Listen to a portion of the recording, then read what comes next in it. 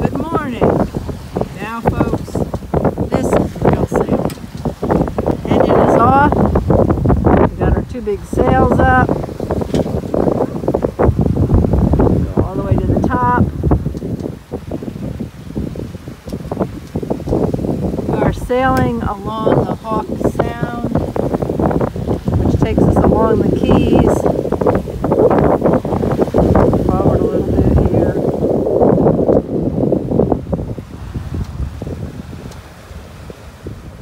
to our north, obviously north winds. That's north Key Largo. And we are on our way to Marathon on a beautiful day.